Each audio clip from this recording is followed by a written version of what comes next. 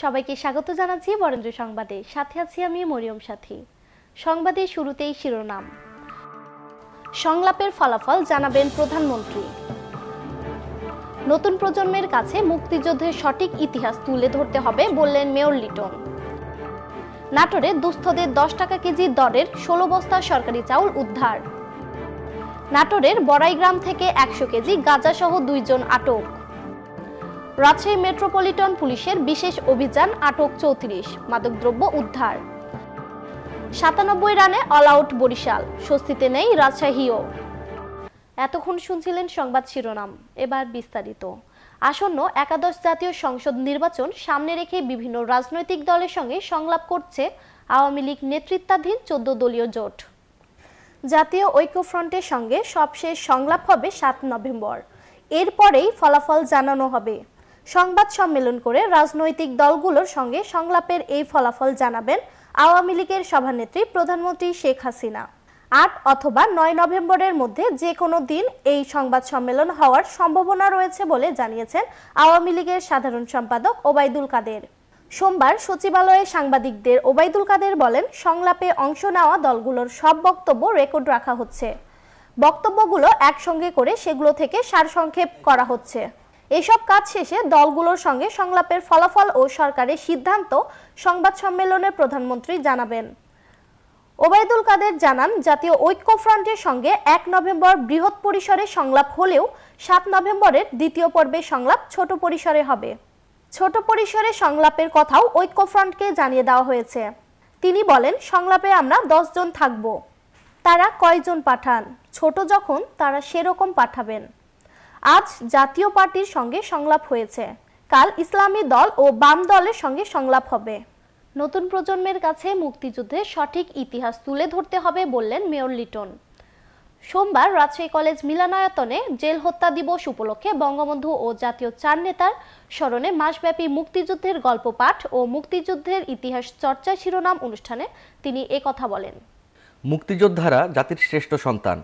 উল্লেখ করে রাজশাহী সিটি কর্পোরেশনের mayor H M Khairuzzaman Liton বলেছেন, জাতির পিতা বঙ্গবন্ধু শেখ মুজিবুর রহমানের নেতৃত্বে মুক্তিযোদ্ধারা মহান স্বাধীনতা যুদ্ধে অংশ নিয়ে পাকিস্তানি বর্বর বাহিনীকে বিতাড়িত করার মাধ্যমে বাংলাদেশ নামে একটি স্বাধীন রাষ্ট্র ছিনিয়ে আনতে সক্ষম হয়েছে। আসলে উনিশশো একাত্তর সালের সেই নয় মাস ব্যাপী কথা যদি শুনতে হয়, তাহলে আমার তো মনে হয় নয় দিন কেন? আরও এক নয় মাস ধরেই বলতে হবে, এত অসংখ্য স্মৃতিকথা, এত অসংখ্য মানুষের ত্যাগ, এত অসংখ্য মানুষের অংশগ্রহণ, এত অসংখ্য মানুষের নির্যাতন সহ্য করা, পঙ্গুত্ব বরণ করা, শাহাদত বরণ করা, এত বীরত্বপূর্ণ গাথা আছে যেটি এইখানে একটি মঞ্চে এক ঘণ্টা দু ঘণ্টা বসে থেকে অসম্ভব বিষয়। তবে আমি অনুরোধ করব, যারা আমার সামনে বসা, যারা মুক্তিযুদ্ধ দেখেনি, কারণ তাদের তখন জন্মই হয়নি। তাদের জন্ম হয়েছে অনেক অনেক পরে মুক্তি ছোট্ট সোনামণিরা এখানে যারা আছে, আমি সোনামণি বলছি এই কারণে অনেকে আমার মেয়ের চেয়েও ছোট এখানে আছে আমার সামনে। বা কিছু বড় আছে, কিছু ছোট আছে। আমার তো মনে আছে পরিষ্কার, এই রাজশাহী শহরে শিক্ষানগরী তখনও ছিল, এখনও আছে। বিশ্ববিদ্যালয় থেকে মিছিল বের হয়ে সেই মিছিল ছাত্র লীগ অথবা সাধারণ ছাত্ররা বা ছাত্র ইউনিয়ন তৎকালে একটা একটা বলিষ্ঠ সংগঠনই ছিল সেই সময়, তারা মিলিত হয়ে, মিছিল নিয়ে বের হয়ে সেই মিছিল যখন সাহেব বাজারে আসতো, শুরুতে যে মিছিলের লোক ছিল হয়তো দুইশো বা তিনশো, সাহেব বাজারে আসতে আসতে সেই মিছিলের লোক সংখ্যা হয়ে যেত পাঁচ হাজার, সেটি যখন কোর্ট হয়ে ঘুরে যেত, মিছিলের লোক থাকতো দশ হাজার। সেই সময়ের কথা আমার চোখে দেখা। এবং সেই মিছিলে মানুষের যে সাধারণ মানুষ, দোকানদার, ব্যবসায়ী, মুটে মজুর দোকানের কর্মচারী রিক্সা চালক তারা নিজ নিজ কাজ ছেড়ে দিয়ে ওই যে একটা আহ্বান হ্যামিলনের বাসি বঙ্গবন্ধু বানিয়েছিলেন ঢাকা শহরে সাতই মার্চে। সেই বাসির তা আওয়াজে যেখানেই সেই স্লোগান হতো, মানুষ দলে দলে যোগ দিতে এবং সেই মিছিল। সেই মিছিল পরবর্তীতে গিয়ে রাজশাহী কলেজ মিলনায়তনে জেল হত্যা দিবস উপলক্ষে বঙ্গবন্ধু ও জাতীয় চার নেতার স্মরণে মাসব্যাপী মুক্তিযুদ্ধের গল্প পাঠ ও মুক্তিযুদ্ধের ইতিহাস চর্চা শিরোনামে এক অনুষ্ঠানের আয়োজন করা হয়। উন্নয়নের অভিযাত্রায় রাজশাহীর আয়োজনে অনুষ্ঠানটি সকাল এগারোটায় উদ্বোধন করা হয়। এতে কলেজের সাধারণ শিক্ষার্থীরা অংশ নেয়। মাসব্যাপী এই অনুষ্ঠানের সভাপতিত্ব করেন ডাক্তার আনিকা ফারিয়া জামান অর্ণা। তিনি বলেন, রাজশাহী একটি শিক্ষানগরী। মুক্তিযুদ্ধের গল্প পাঠ অনুষ্ঠানের মাধ্যমে রাজশাহীর নতুন প্রজন্ম মুক্তিযুদ্ধের সঠিক ইতিহাস জানবে। আমি চাচ্ছি যে মুক্তিযুদ্ধের সঠিক ইতিহাস সম্পর্কে নতুন প্রজন্ম জানুক এবং সেই জন্য আমাদের মাঝে এখনও যে মুক্তিযোদ্ধারা আছেন, তাদের কাছ থেকে আমরা সেই তথ্য নিব। আমাদের ভবিষ্যতে ইচ্ছা আছে আমরা কামরুজ্জামান পাঠচক্রর একটি আয়োজন করতে যাব সামনের দিনে এবং আন্তর্জাতিকভাবে যেন এটি সম্মাননা পায়। আমাদের মুক্তিযোদ্ধাদেরকে নিয়ে একটি ডকুমেন্টারি করার ইচ্ছা আছে। সেখান থেকে যেন অনেকেই পড়াশোনা করতে পারে পিএইচডি করতে পারে পোস্ট গ্র্যাজুয়েশন করতে পারে, এটাই আমার স্বপ্ন। আমরা জানি যে যেভাবে জাতির পিতাকে হত্যা করা হয়েছে, এর নেপথ্যে যারা ছিল তারাই কিন্তু জাতীয় চার নেতাকেও হত্যা করেছে। অনেকেই পলাতক অবস্থায় আছে। আমি বারবারই একজন শহীদ পরিবারের সন্তান হিসেবে আমার এটাই চাওয়া, যারা এখনও এর নেপথ্যে থেকে ষড়যন্ত্র করেছে, পালিয়ে আছে, তাদেরকে দেশে নিয়ে এসে দৃষ্টান্তমূলক শাস্তির ব্যবস্থা করা হোক। বাংলাদেশ সরকারের কাছে আমার এটাই চাওয়া। আমার আত্মবিশ্বাস তারা যে উদ্যোগটা নিয়েছে, তারা এটা মানে উত্তরোত্তর অগ্রসর হবে কোনো সন্দেহ নেই। আর তাদের উদ্যোগটা খুব সুন্দর। আর আমাদের কথা তাদের মধ্যে আমরা ছড়িয়ে দিতে চাই।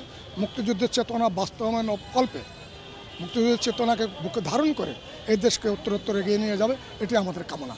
ইতিহাস সম্পর্কে এই মুক্তিযুদ্ধের ইতিহাস সম্পর্কে অনেক কিছু জানলাম। জাতীয় চার নেতা সম্পর্কে অনেক কিছু জানলাম। নাটোরের গুরুদাসপুর থেকে দুস্থদের দশ টাকা কেজি দরের ষোলো বস্তা সরকারি চাউল উদ্ধার করেছে পুলিশ। সোমবার উপজেলার বেড় গঙ্গারামপুর এলাকার ডিলার জালালউদ্দিন শাহর বাড়ির খাটের নিচ থেকে চালগুলো উদ্ধার করা হয়। ঘটনার পর থেকে জালালউদ্দিন শাহ পলাতক রয়েছে। এ বিষয়ে গুরুদাসপুর থানায় একটি নিয়মিত মামলা হয়েছে। গুরুদাসপুর থানার উপপরিদর্শক নুর আলম জানান, গোপন সংবাদের ভিত্তিতে উপজেলা নির্বাহী কর্মকর্তা মনির হোসেন ও উপজেলা খাদ্য কর্মকর্তা মোহাম্মদ মামুনের নেতৃত্বে পুলিশ উপজেলার বেড় গঙ্গারামপুর এলাকার ডিলার জালালউদ্দিন শাহর বাড়িতে অভিযান চালালে বাড়ির শয়নকক্ষের খাটের নিচ থেকে দুস্থদের দশ টাকা কেজি দরের ষোলো বস্তা সরকারি চাউল জব্দ করা হয়। এ সময় জালালউদ্দিন পালিয়ে যায়। এ বিষয়ে স্থানীয় ইউপি চেয়ারম্যান সৈকত রানা লাবু জানান, সরকারি চাউল কীভাবে জালালউদ্দিনের বাড়িতে গেল তা তিনি জানেন না। আনুমানিক আটশো কেজি চাউল তার ওই বক্স খাট থেকে উদ্ধার হয় এবং জনসাধারণ যে কষ্ট ভোগ করছে, আগামী দিনে যাতে এই জনগণের কষ্ট করতে না হয়, চাউল তারা যাতে সঠিকভাবে পায় সেই জন্য ঊর্ধ্বতন কর্মকর্তার কাছে আমার আবেদন খুব তাড়াতাড়ি চাউলের ব্যবস্থা করতে হবে এবং এই যে গরিবের হক সরকার যে পৃথিবীর কোথাও কোনো দেশে নাই, আমাদের প্রাণপ্রিয় প্রধানমন্ত্রী যে অনুদান দিয়েছে দশ টাকা কেজি চাল, সেই চাউল যে আত্মসাৎ করার জন্য বাড়িতে রাখছে, তার উপযুক্ত সাজা আমি আশা করছি। এবং আমার বিশ্বাস, আওয়ামী লীগ সরকার দেশের জনগণের স্বার্থে কাজ কর- করে যাচ্ছে, দেশের উন্নয়নের স্বার্থে কাজ করে যাচ্ছে, এবং এর বিচার অবশ্যই অবশ্যই হবে। গুরুদাসপুর উপজেলা নির্বাহী কর্মকর্তা মনির হোসেন ঘটনার সত্যতা স্বীকার করে জানান, আইন অনুযায়ী ডিলারির দোকান ব্যতীত ওই চাউল অন্য কোথাও রাখা যাবে না। এ ঘটনায় নিয়মিত মামলা দায়ের করা হয়েছে। এছাড়াও তাৎক্ষণিক একটি সভা করে জালালউদ্দিনের ডিলারশিপ বাতিলের সিদ্ধান্ত নেওয়া হয়েছে। আমরা গোপন সংবাদের ভিত্তিতে জানতে পারি যে বেরগঙ্গারামপুর জনক জালালের বাড়িতে সরকারি চাউল মজুত করে রেখেছে।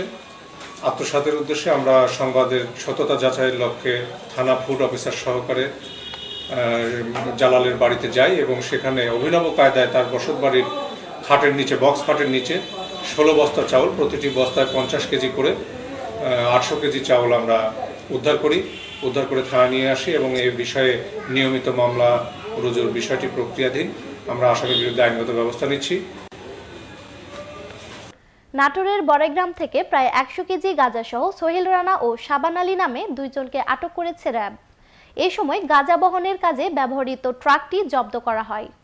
সোমবার বিকেলে উপজেলার বনপাড়া হাটিকুমরুল মহাসড়কের রয়না ফিলিং স্টেশনের সামনে থেকে গাঁজাসহ ট্রাকটি আটক করা হয়। র্যাব পাঁচ, সিপিসি দুইয়ের কোম্পানি কমান্ডার আজমল হোসেন ও স্থানীয়রা জানান, কুমিল্লার মিয়াবাজার থেকে একটি ট্রাকে করে বিপুল পরিমাণ গাঁজা, নাটোর হয়ে চাঁপাইনবাবগঞ্জ পাচার হচ্ছে এমন গোপন সংবাদের ভিত্তিতে বড়াইগ্রাম উপজেলার রয়না ফিলিং স্টেশন এলাকায় তল্লাশি চৌকি বসায় র্যাবের একটি দল। এ সময় একটি ট্রাকে তল্লাশি করে বড় বড় পাঁচটি বস্তা উদ্ধার করা হয়। পরে বস্তাগুলো থেকে প্রায় একশো কেজি গাঁজা উদ্ধার ট্রাকের চালক সোহেল রানা ও তার সহযোগী শাহবান আলীকে আটক এবং ট্রাকটি জব্দ করা হয়। পরে আটককৃতদের বিরুদ্ধে মাদকদ্রব্য নিয়ন্ত্রণ আইনে মামলা দিয়ে সংশ্লিষ্ট থানায় সোপর্দ করা হয়েছে। রাজশাহী মেট্রোপলিটন পুলিশের বিশেষ অভিযানে চৌত্রিশ জনকে আটক ও মাদকদ্রব্য উদ্ধার করেছে পুলিশ। মহানগর ডিবি পুলিশ সন্ধ্যায় মহিষবাথানে অভিযান চালিয়ে একটি আগ্নেয়াস্ত্র সহ দুইজনকে আটক করে। এছাড়াও মহানগরীর বিভিন্ন স্থানে অভিযান চালিয়ে বলিয়া মডেল থানা পাঁচ, রাজপাড়া পাঁচ, চন্দ্রিমা চার, মতিহার পাঁচ, কাটাখালী চার, বেলপুকুর এক, শাহমুকদুম এক, পবা এক, কাশিয়াডাঙ্গা থানা পাঁচ ও ডিবি পুলিশ তিনজনকে আটক করে। যার মধ্যে বারো জন ওয়ারেন্টভুক্ত আসামি, নয় জনকে মাদকদ্রব্য ও অন্যান্য অপরাধে এগারো জনকে গ্রেপ্তার করা হয়েছে। এছাড়াও ফেন্সিডিল, হেরোইন, গাঁজা ও ইয়াবা উদ্ধার করেছে পুলিশ। এবার খেলার সংবাদ। ওয়ালটন বিশতম জাতীয় ক্রিকেট লিগের শেষ রাউন্ডে মুখোমুখি হয়েছে রাজশাহী ও বরিশাল বিভাগ। রাজশাহী শহীদ কামারুজ্জামান স্টেডিয়ামে রাজশাহী বিভাগ টস জিতে বরিশাল বিভাগকে আমন্ত্রণ জানায় ব্যাট করতে। রাজশাহীর বোলারদের তোপের মুখে সাতানব্বই রানে গুটিয়ে যায় বরিশালের প্রথম ইনিংস। জবাবে রাজশাহী বিভাগ তাদের প্রথম ইনিংসে ব্যাট করতে নেমে স্বস্তিতে নেই। একশো চব্বিশ রান তুলতেই তারা হারিয়ে বসেছে ছয় ছয়টি উইকেট।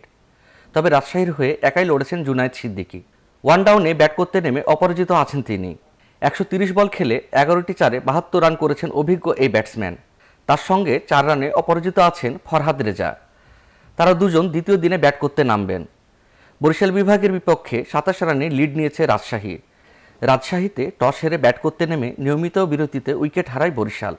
আসা যাওয়ার মিছিলে ব্যাট হাতে আলামিন সর্বোচ্চ পঁচিশ রান করেন। মোসাদ্দেক করেন বাইশ রান। আর তানভীর ইসলামের ব্যাট থেকে আসে এগারো রান।